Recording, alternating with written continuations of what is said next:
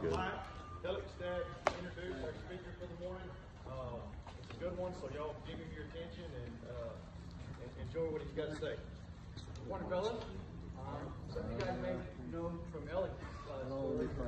My background is I started off as an athletic trainer. I worked in sports medicine, different different areas, but uh, the last several years I worked in pro hockey, which brought me to Lubbock. There used to be a team called the Cotton Kings. So I got here, the Cotton Kings, worked a couple of years. The second team, we had a guy come in, one of the toughest guys I've ever seen that played for a different team. Um, I saw him in several other teams, Lake Charles, Odessa, um, but I knew he came up from the NHL. He was uh, working around different different teams. Uh, there's different levels of, of, of uh, pro. Some of you guys may know. So uh, a couple of years we worked together. He was a player here, and then we uh, ended up taking over Tech Hockey, which at the time was a club hockey, but we kind of made it bigger because the Cotton Kings left. Time we had a pretty good following between two of us. We had a full staff, and we made a really premier product. Uh, three or four thousand fans um, as a club team. So we were on the way of making a, a D1 with Texas Tech Hockey, believe it or not. Where we fell short was the city had other plans for the building. So, uh, so we became best friends after that. A uh, lot, lot of turmoil, a lot of hard work that we put in. Um, things didn't ultimately come out the way we worked, wanted to, but we gained a really strong friendship. The bonds we had with the work that we, we, did together really solidified our friendship. Now we have a company together uh, that we've been, we've been uh, developing as well. So even though we didn't succeed on our first goal, we, have been able to succeed in some other things with, uh, by working together So um, he's originally from uh, Mississauga, uh, Ontario, which is right outside. It's like a, a, a suburb of Toronto. Um, hockey player, and he'll explain a little bit more about that. But one of the biggest things is that when you're 15 years old, you kind of know where you're going already in hockey. You're going to be, you know, kind of a guy that plays around, messes around, or you're going to be one that's going to be serious. So serious that you move away from home at 15 or 16 to go chase that dream. You, you, you go start, instead of playing high school, you play um, junior hockey. So you go live with a family several thousand miles away from the other side of of the country. Uh, any more this is Paul Fioroni.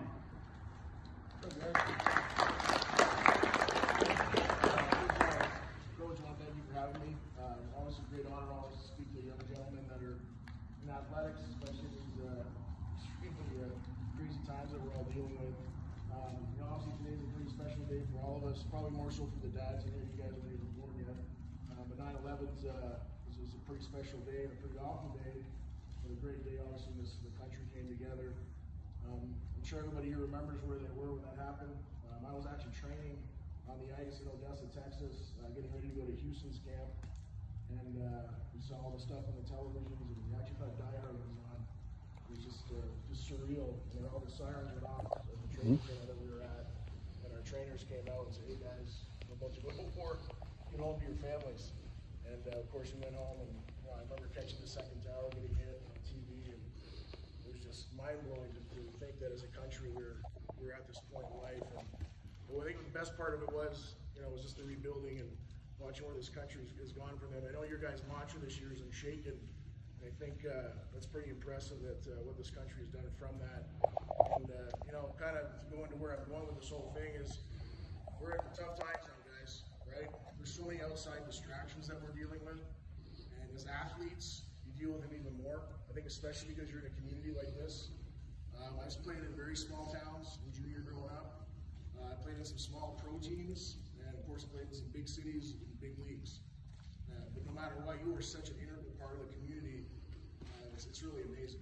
And kind of what I'll say is this, is, you know, our coaches used to always tell us, know, when you walk through that facility door, when you walk through your dressing room door, you leave everything at the door. You leave all your hurt. You you dealt with the loss of your family. You leave your politics. You leave everything at that door. Because when you come into the dressing room, you come into this training facility. You go into your equipment manager's room, your athletic room to get, to get taped up. All that stuff stays outside of there. You guys all going to breed you as a stronger unit when there's all those distractions that are left. And you really need to remember that. This is a sacred part of what you're doing. A lot of people don't get a chance to do this. I'll go through some statistics later in this talk that are talking about how blessed that you guys are to actually be in this room right now to play this sport at this level of what you're doing. and uh, it's just extremely important. Um, to give you guys an example, for any of you guys that have aspects that go beyond high school, So a high school senior player who wants to go to an NCAA football team, you got a one in 17 chance. 5.8% of you here may go on to play D1, right? If you go on to play D1, about 2% of you from there will have a shot to go to the NFL. Obviously, if you go directly from high school, I think it's 1 in 10,000, so it's like 0.09, about the same chance you have of getting COVID, right? So, I mean, it's it's tough. So, so this this level here that you guys, a lot of you guys are at, this is your NFL. And I want you to take that to heart. I'm not telling you to break any dreams, but I'm telling you that you need to appreciate where you are right now. Are you guys already off to a great start that I see? You guys are playing the Lobos tonight. Um, I mean, everything that you have now in front of you, all the stuff that you guys do together now builds up to what you guys do in December. I think, Coach, would that be when you guys would have a state championship? Or, okay? so, you know, I always think of myself, my dad always used to say, you know what makes a great athlete? And I would say, oh, the strongest guy, the fastest guy. He'd be like, no, keep trying. And I'd be like, well, maybe the smartest guy. No, the most honest guy. You might think about that, why is it the most honest guy? Well, it's the most honest guy because, I mean, when you walk into a dressing room, when you walk onto the field, when you walk onto practice, who are you being honest with with the efforts that you're going to put in? You being honest with yourself? You being honest with your parents? With your coaches? When you start a game, are you honestly prepared for it? At the end of the game, are you honestly true with what you did? How much you left on the field? Are you honest with your teammates? Are you honest with God? Okay? All that stuff comes into that. You have to understand that all the hard work and all the perseverance and everything that you guys put in, are you doing it honestly? Okay? to me, that's extremely important. And I think it just it transcends beyond. Sorry, guys, I got some notes here. Just want to make sure I didn't miss anything here. Um, so, anyways, I'm going to kind of get into to my story. so, I'm very blessed win six championships over my life. Um, three at a professional level, um, two at a very high, high level. Not the Stanley Cup, obviously, but um, I won a very big championship with a team called the St. Louis Vipers. Um, essentially, what it was, it was professional roller hockey at the NHL level. We played in all the NHL buildings.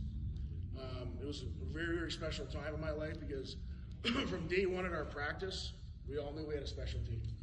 Every one of us knew that we had a chance in that room from day one of practice that we were going to win something.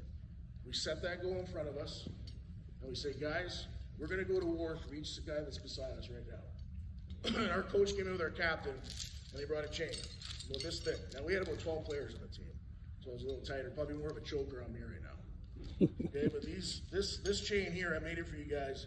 It's exactly every one of you as a player. Your names are on, your numbers on each link. Okay? Your coaches are on this, your principal, your superintendent, your parents, your city. Okay, and of course, the most important part is the last class you got God, right?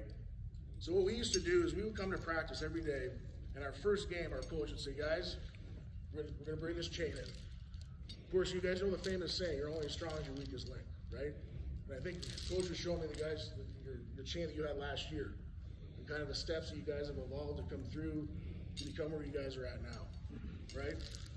so what we would do is we understood that, you know, the science of a chain is amazing because as you add a link, that's that link, the link gets stronger. And by the time you actually pull and actually get a link connected together, that load force shares across each link. So it's evenly distri- distributed where the link together as one unit takes that string, it becomes almost like a metal beam. Okay, so understand that, that analogy, what that is. And after every game, what would happen is the captain would give chain the guy that he thought was the strongest link of that game. And so every game this did this, and then we started doing it in practice too. So after every practice, we would pass that chain on as well. Because, you know, obviously if you don't practice hard, you're not going to play hard. Practice is just as much a part of what you guys are doing as when you step on that field tonight under those Friday night lights. But the most incredible thing was at the end when we won the championship, so we're in Anaheim at the Anaheim Pond where the Ducks play, in front of 21,000 fans. We win 9 6. And I'm sitting in the dressing room like this after the game. I was just exhausted. Looking around in the dressing room, seeing all my teammates. And it was just a surreal moment where I look and I'm like everybody was tired, you know, from the championship. But it was this this look of of ease, of release on, on the face of everybody. You can see just kind of everybody just kind of looking around. And it was because we, we realized that we were probably seventy percent of, exha- of exhaustion, but that 30 40 percent, it was we didn't let our team down. That pact that we made at the beginning of the season on day one, we said, "I got you, you got me. We're doing this thing together." We looked in each other's eyes, and we knew that we did this for this reason. We raised that cup for that reason because we never let any of each other down in the dressing room. And we all just started hysterically laughing because, we all realized we finally did it. And of course, we popped bottles, you know, and celebrated like champs. but you guys are in a place right now that's it's it's it's hard. This is a hard world we're in right now, boys. It's very hard. There's so many outside distractions. So many outside distractions. It's up to each one of you guys to bring the other guy up. Okay, I'm a big Navy SEAL guy. I've got a couple of friends of mine that are SEALs. They tell me stories of when they get in their last four or fifth day of BUD/S, they like they start going delirious, literally. When they're in the boats doing their last little swimming before they come in, they've been up for literally four days straight. They start hallucinating. Start seeing stuff in the water, ships, aircraft carriers. They think their buddies are in the water drowning, and they have these highs and lows. And what will happen is one of the guys will shout out, "Hey guys, I'm having a high here. I'm seeing something." You know, and then you'll hear one of the guys, man, I'm having a low, like I think I'm gonna die, I think I'm gonna die.